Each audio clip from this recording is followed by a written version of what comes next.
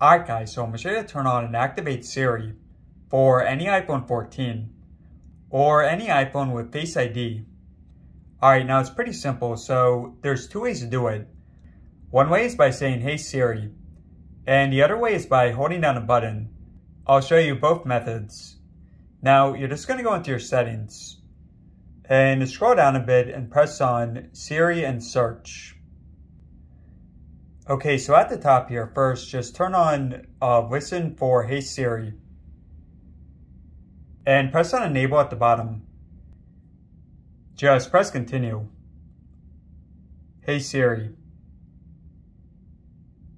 Hey Siri, send a message. Hey Siri, how's the weather today? Hey Siri, set a timer for three minutes.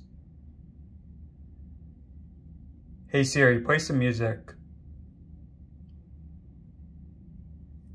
Okay, so just press done. And you see it automatically turned on to press the side button for Siri. Uh, if it hasn't, then it's turn it on. Oh yeah, and from you can change stuff like the language, uh, Siri's voice, the responses, stuff like that. But yeah, for the side button, it's this one right here. And you're not just pressing it, you're holding down. What's the weather?